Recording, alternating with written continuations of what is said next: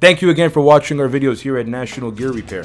As you are clearly seeing in this video tutorial, we are experts in Black Clawson gearbox rebuilding and remanufacturing. All technicians here are specifically trained on setting bearing preloads and bearing floats for all types of Black Clawson gearboxes from many types of industries such as oil and gas, food and beverage, chemical, corrugating, pulp and paper, construction metals, and rubber and plastics. If you need necessary inner components such as like helical or spiral bevel, we have a very large inventory of all inner components stored here at our facility for all 911 rush repair needs. Once the gearboxes are rebuilt and once new bearings are installed, we then set the proper bearing preloads and bearing floats. All technicians here are Timken bearing certified. Our bearings are applied on with liquid nitrogen and a bearing induction oven, and gravity does the rest. Please rest assured, any Black Clawson gearbox that National Gear Repair rebuilds for you will have a 24 month warranty from the date of installation.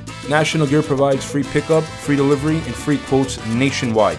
Thank you again for watching. Please do not forget to like, share, and subscribe.